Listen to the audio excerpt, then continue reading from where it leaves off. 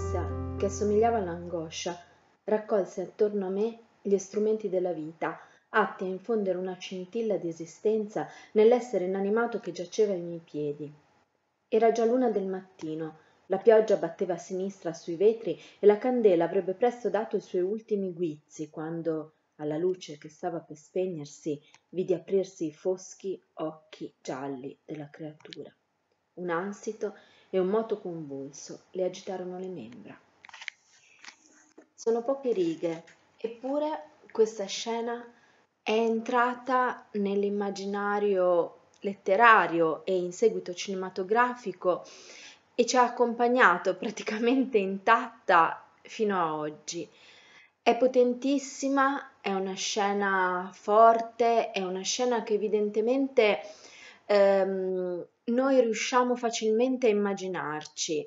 Immaginiamo la stanza dello scienziato, immaginiamo gli attrezzi, il cinema poi ne ha aggiunti altri rispetto a quelli che erano descritti in questa scena. Immaginiamo la luce bassa, la penombra e fuori questo temporale e poi improvvisamente la creatura che si risveglia. Questa scena Mary Shelley la scrive eh, insieme alle altre pagine del romanzo all'età di 18, 18 anni. Praticamente è una ragazzina quando scrive Frankenstein, eppure in questo romanzo crea, riesce a creare una, un mostro, un'incarnazione del mostro ehm, potentissima ed è così potente mh, da riuscire in pratica a superare anche le pagine del romanzo e a, a superare sicuramente il suo tempo. Ma che cos'è che rende effettivamente così potente il mostro di Frankenstein? Probabilmente proprio il fatto che non è un mostro così mostro, cioè che la sua natura, come vedremo, è molto più complessa, più stratificata. Eh, per capire però il romanzo, secondo me, bisogna capire chi è che l'ha scritto in questo caso e, e un po' della sua storia, per vedere come in effetti eh, la storia biografica di Mary Shelley si vada a, a mescolare e, e dia vita proprio a certe immagini, certe pagine del suo romanzo. Mary Shelley nasce in un sobborgo di Londra eh, nel 1797. Nasce ehm, in una famiglia che, ehm, diciamo, in cui la cultura è sempre stata importante, è sempre stata al centro. Sua madre è una scrittrice ehm, e a sua volta eh, giovanissima eh, è scappata di casa mh, mm, fuggendo da un padre violento e ehm, è, è andata, diciamo, con il suo manoscritto a presentarsi in una libreria per avere un lavoro da traduttrice il libraio non solo ehm, diciamo accoglie e assume la madre di Mary Shelley, ma addirittura pubblica il suo romanzo. E lei diventa appunto una scrittrice famosa e diventa anche una praticamente filosofa, una mh, mm, una delle primissime teoriche del femminismo e della importanza dell'uguaglianza tra eh, uomo e donna. Ehm, la sua vita sarà una vita avventurosa, lei avrà una relazione eh, molto importante, anche molto travagliata, con un pittore del suo tempo, Fusli, il quale ehm, tra gli altri, dipinge un quadro che secondo me eh, appunto in qualche modo eh, riporta anche ehm, all'immaginario del Frankenstein. Eh, questo quadro si intitola L'incubo e c'è una donna sdraiata sul letto ehm, che in qualche modo viene osservata e sorvegliata dalle, da delle creature demoniache. Ehm, questo quadro è, è particolarmente bello e soprattutto ha a che fare con quella irruzione del, um, del mostruoso, del pericoloso, eh, del perturbante nel quotidiano, che è poi uno dei temi sicuramente che sostengono anche il Frankenstein. Eh, la madre di Mary Shelley, appunto, dopo questa avventura d'amore con Fusli, eh, va via dall'Inghilterra, va in Francia, partecipa o comunque studia per un periodo anche la rivoluzione francese e poi torna alla fine in Inghilterra e a questo punto si sposa con quello che è appunto il padre di Mary Shelley che si chiamava William Goldwyn. Anche William Goldwyn è uno studioso, è un filosofo in particolare e diciamo ehm, entrambi sono circondati da un ambiente letterario che poi continuerà a essere l'ambiente in cui cresce Mary, un ambiente in cui le, le sollecitazioni appunto intellettuali sono importantissime. Eh, purtroppo eh, la madre di Mary Shelley, ehm, dopo averla partorita, va incontro a una infezione e dopo neanche dieci giorni muore di setticemia. Eh, in questa morte avvenuta per darla alla luce praticamente, mm, Mary Shelley incontra per la prima volta e ehm, vede per la prima volta quel contatto tra creazione e morte, tra nascita e distruzione, che poi ehm, ritornerà ovviamente nella, nella scena eh, fondamentale eh, della nascita della creatura. Ehm, quando Mary ha tre anni, il padre si eh, risposa e lei vive questa, um, questo nuovo matrimonio in maniera molto com- problematica, nel senso che si sente in qualche modo tradita dal padre e ehm, questo tema mh, mm, di essere rifiutata, di non essere amata abbastanza, è un'altra cosa che si porta dietro per tutta la vita Mary Shelley. Ehm, piano piano mh, mm, vediamo che mh, mm, cominciano a evidenziarsi in questa storia eh, dei pezzi, il quadro di Fusli, la morte della madre, l'abbandono da parte del padre da cui appunto Mary vorrebbe essere invece amata totalmente. A questo si aggiunge ancora un altro pezzo. Vedremo che alla fine tutti questi pezzi ehm, andranno proprio a costruire la nascita e, e le pagine del romanzo che Mary scriverà a 18 anni.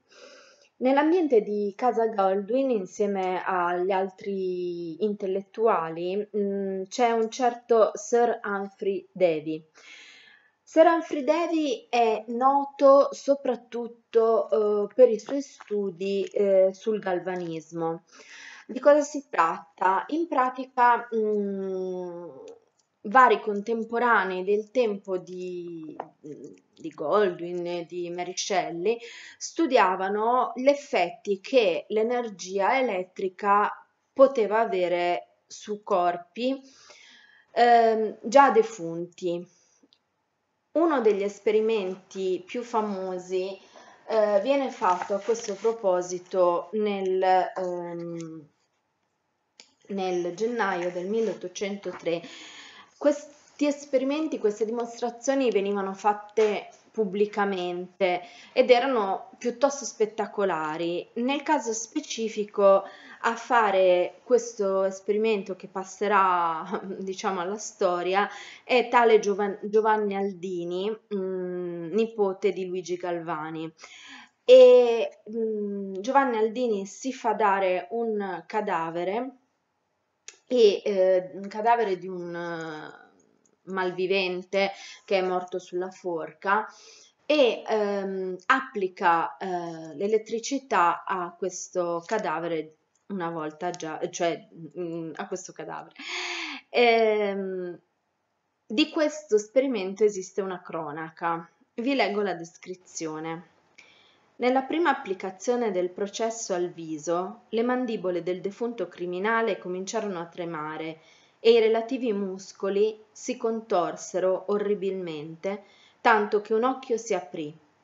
Nella fase successiva del processo, la mano destra si alzò e si serrò e gambe e cosce si mossero. Ora capite bene come una descrizione di questo tipo faccia proprio pensare al risveglio del mostro. Dunque ehm, il galvanismo entra a pieno titolo eh, nell'immaginario appunto del romanzo di Mary Shelley. Eh, intanto la famiglia Godwin si è spostata di casa, non vive più nella casa dove è nata Mary, ma ehm, si è spostata in un'altra zona di Londra, una zona un po' strana perché a pochi metri da casa di Mary eh, ci, ci, sono tre carceri e sono, c'è il mercato della carne di Londra. Eh, di notte si sentono eh, gli animali che vengono macellati. Il, la folla spesso si riunisce proprio vicino nei paraggi della casa di Mary per assistere alle impiccagioni.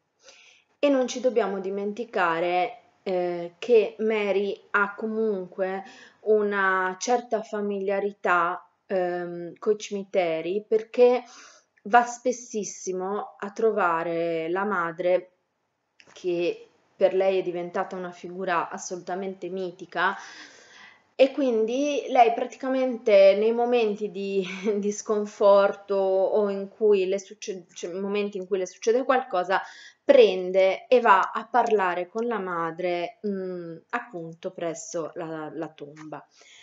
Eh, è chiaro che si sta creando intorno a Mary tutto quello che è l'immaginario proprio uh, del, del, romanzo che poi scriverà. Ci sono uh, gli animali che vengono uccisi e anche il dottor Frankenstein eh, per preparare il suo esperimento, per preparare eh, la nascita della creatura, tortura animali vivi. Eh, c'è il cimitero dove è sepolta la madre e anche il dottor Frankenstein eh, si aggirerà per il cimitero per trafugare i corpi, i cadaveri da cui ehm, prendere gli organi per costruire il, il suo mostro. Ehm, e ovviamente, mh, mm, vabbè, eh, questa, questa, immagine di queste mh, esecuzioni ehm, di assassini e, e ladri eh, crea tutto un, appunto, un immaginario, un, un, un, un insieme di idee e anche di atmosfere che poi ritroviamo eh, nelle pagine di Mary. Ma per capire ehm, tu, tutto quello che c'è dentro il romanzo di Mary Shelley ci vuole ancora un pezzo, ci vuole ancora un ingrediente e questo ingrediente forse non, non, ci aspetteremmo di trovarlo in un romanzo che da sempre viene mm, considerato un romanzo gotico e del terrore per eccellenza. E invece vedremo che questo è un elemento fondante e l'elemento è l'amore. Mary ha 16 anni quando si innamora perdutamente di Shelley, il poeta.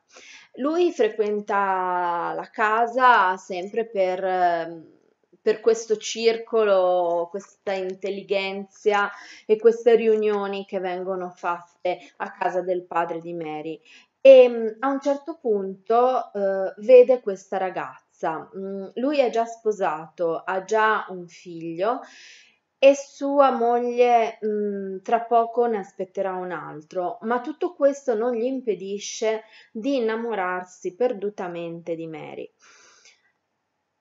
lei a sua volta è affascinata da questo giovane che comunque è più grande di lei, ha 5 anni più di lei ed è già affermato anche ehm, intellettualmente, culturalmente, è già riconosciuto come poeta comunque. Eh, I due decidono a un certo punto di scappare insieme. Mm, decidono di scappare insieme per rendere la loro unione definitiva, perché nel momento stesso in cui scappano, eh, la, diciamo, la reputazione di Mary è distrutta per sempre e lei non potrà mai più eh, avere un altro matrimonio, una, una vita normale. Scappano e si portano dietro la sorellastra di Mary, strana scelta, comunque scappano tutte e tre insieme.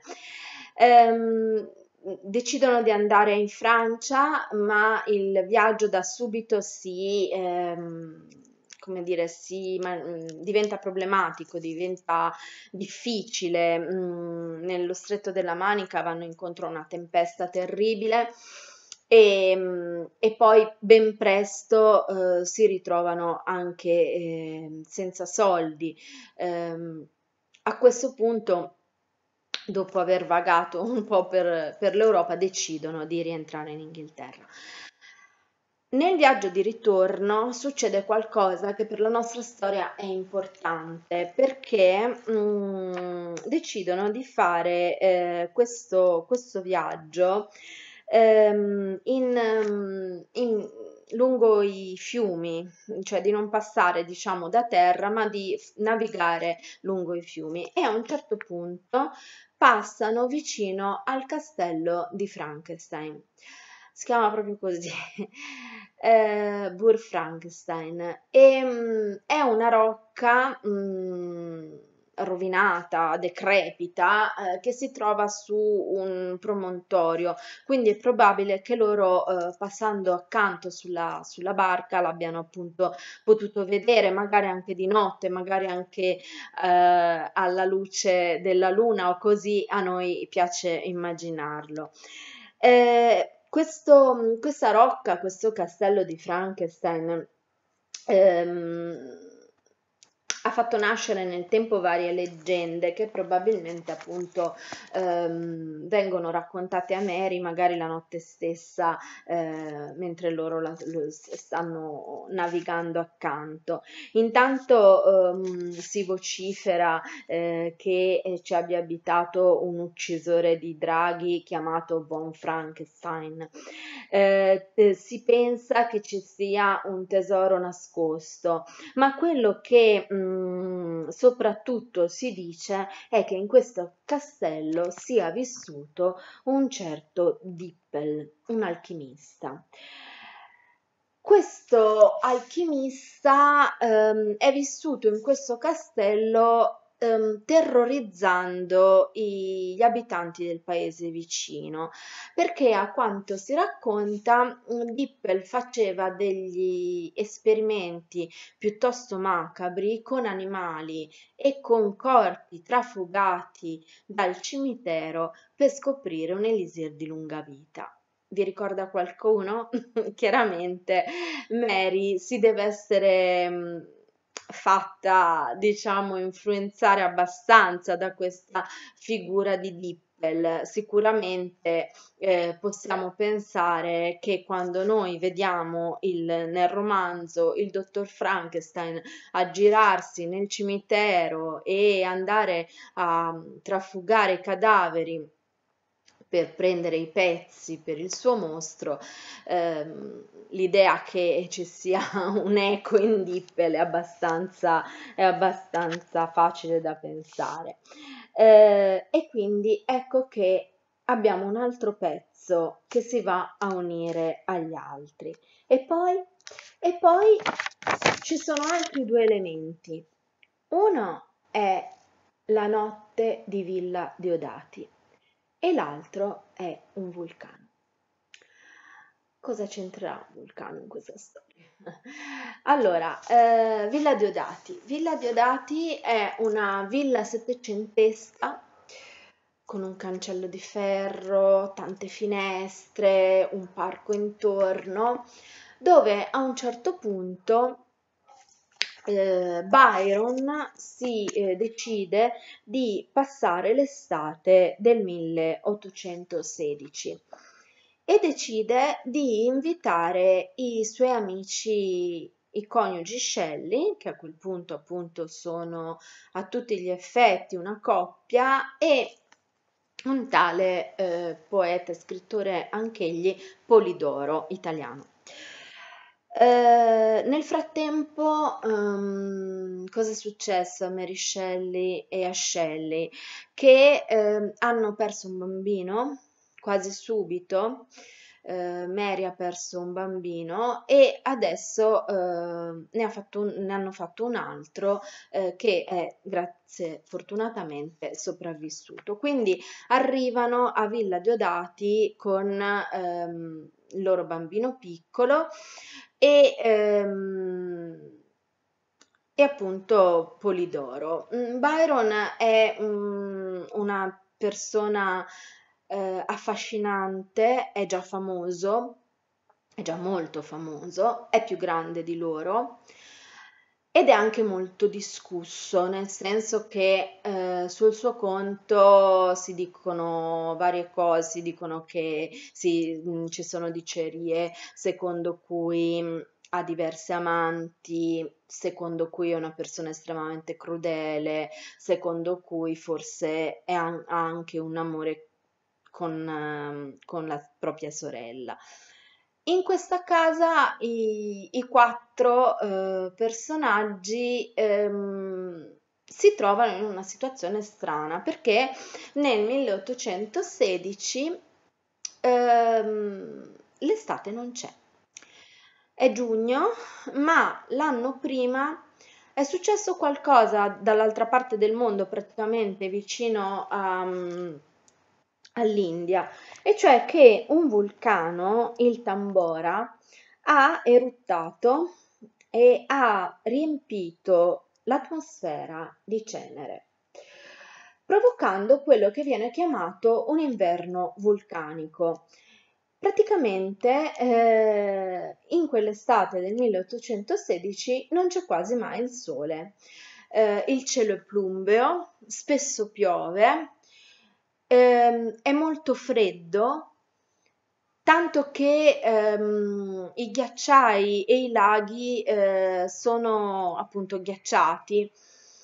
Eh, I quattro, mm, come dire, turisti di Villa Diodati eh, non sanno come passare il tempo avevano probabilmente pensato di fare delle escursioni nei boschi, invece si trovano spesso costretti a rimanere a casa.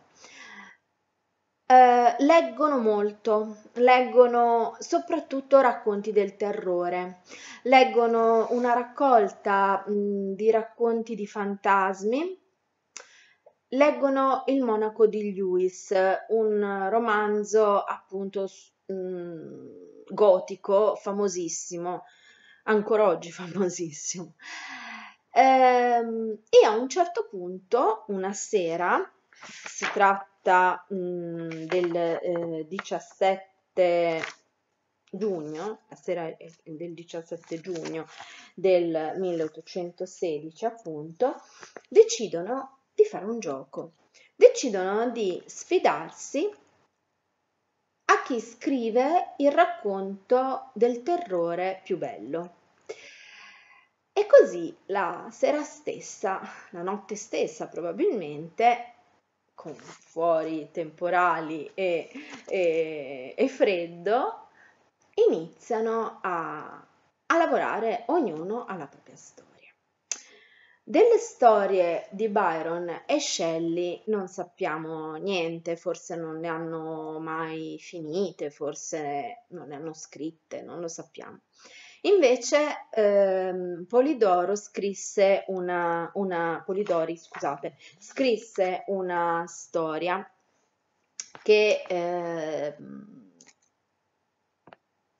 che si intitola Il vampiro e che ebbe eh, comunque una certa fortuna. Ma quella che scrive il racconto più importante è Mary, perché è proprio qui a Villa Diodati che nasce l'idea di Frankenstein. E nelle settimane successive, a fine giugno, quando Shelley e Byron vanno a fare passeggiate comunque nei, nei dintorni, lei resta a casa e eh, scrive come una pazza, scrive, scrive, scrive, proprio ha trovato la sua storia. Bene, mm, scrive e, e va eh, anche lei ogni tanto a passeggiare fino a un ghiacciaio che c'è vicino a Villa Diodati. E forse non è un caso che il romanzo di Mary Shelley inizi proprio in un paesaggio ghiacciato. Eh, le prime pagine si aprono sulla figura del capitano Robert Walton, è lui che vediamo. Walton è un esploratore Mary aveva mh, avuto occasione durante la, la, sua giovinezza di passare un periodo in Scozia dove eh, aveva incontrato eh, anche dei viaggiatori, dei naviganti e probabilmente questo è un ricordo che ritorna. Eh, Robert Walton ehm, è eh, a bordo della propria nave e ha appena mh, ricevuto un'eredità grazie alla quale eh, potrà finalmente ehm, fare il viaggio che ha sempre sognato verso il polo per capire, mh, per scoprire cosa attrae l'ago della bussola appunto verso nord. A un tratto però scrive eh, Walton al, nelle lettere che invia alla sorella, eh, lui e l'equipaggio vedono all'orizzonte passare una slitta e questa slitta è mh, mm, guidata da un essere che anche a distanza loro giudicano di proporzioni mostruose. È la prima apparizione nel romanzo della creatura ma la creatura appare e sparisce, nel senso che il capitano e i suoi non fanno neanche in tempo a capire che cosa sia e lo vedono appunto eh, annullarsi nel bianco dell'orizzonte. Il giorno dopo però arriva un altro visitatore il capitano Walton trova un'altra slitta sulla banchisa eh, ghiacciata. Mm, questa volta eh, è guidata da un uomo e l'uomo è in, in stato molto disperato, è, è, è infreddolito, è affamato, eh, sembra quasi che stia per morire al che eh, il capitano e il suo equipaggio lo convincono a salire sulla loro barca. L'uomo è il dottor Frankenstein e da questo momento in poi inizia a raccontare la propria storia. La propria storia è quella di uno scienziato, uno studente prima ancora, promettente, che però a un certo punto si fissa con un'ossessione. La sua ossessione è quella di eh, creare un essere, creare un essere che abbia delle qualità migliori addirittura dell'essere umano, ehm, dare vita alla materia che vita non ha. Ben presto il dottor Frankenstein arriverà a raccontare al capitano proprio quel momento che noi con cui noi abbiamo iniziato, cioè il momento in cui la creatura apre gli occhi. Ma che cosa succede dopo? Succede che Frankenstein, il dottor Frankenstein si spaventa, capisce subito di aver creato qualcosa di orrendo e fugge, fugge nella sua camera lasciando nel, nel, nello studio, nel laboratorio, la creatura da sola. Fugge nella propria camera e qui probabilmente stremato dalla sofferenza, dall'agitazione, dalla stanchezza, si addormenta. La creatura si alza e inizia a girare per le stanze probabilmente di questa casa e a cercare il proprio creatore. E l'immagine è molto forte e ci fa veramente venire in mente quel famoso quadro di Fusli, perché a un certo punto il mostro ehm, scosta le cortine del letto e guarda il suo creatore, il dottor Frankenstein. Lui si sveglia di soprassalto, si terrorizza, scende dal letto e il mostro allunga la mano per toccarlo, per, per essere preso da, da, chi l'ha creato, per essere accolto, ma questa mano rimane senza stretta. Tutto quello che succede dopo nel romanzo è una conseguenza praticamente di questo primo rifiuto che il dottor Frankenstein fa nei confronti della creatura che lui stesso ha messo al mondo, lui, a cui lui stesso ha dato la vita. Ehm, il romanzo di Mary Shelley è quindi soprattutto alla fine non tanto un romanzo del terrore, quanto un romanzo sulla incapacità e sull'impossibilità di essere amati. Ehm, la creatura di Mary Shelley, il mostro di Mary Shelley, è così potente, è così si è così tanto imposto nel nostro immaginario perché non è un mostro che nasce cattivo, che nasce crudele, che nasce spietato. Nasce invece con un bisogno estremo di amore che non viene colmato. Nella scena, insomma, nella scena finale del romanzo, verso la fine del romanzo, il dottor Frankenstein muore sulla nave eh, del capitano e a un certo punto il capitano scende nella cabina dove è il corpo di Frankenstein e trova la creatura. Trova la creatura che piange. E allora il capitano mm, mm, dice al mostro: È inutile che ora piangi, è inutile che ora ti penti, tutte le, le cattiverie che hai fatto, le efferatezze che hai fatto. E il mostro risponde così: il mio cuore era fatto per essere sensibile all'amore e alla comprensione, e quando fu sviato dalla sofferenza al male all'odio, non ha sopportato la violenza del cambiamento senza una tortura che neanche tu puoi immaginare. Ecco, è forse per questo il cuore della creatura di Mary Shelley, fatto per l'amore e corrotto invece alla fine dall'odio, è tra i cuori più commoventi della letteratura ed è questo che ancora oggi ci affascina così tanto e ci eh, prende così tanto quando leggiamo il Frankenstein di Mary Shelley. Buona lettura.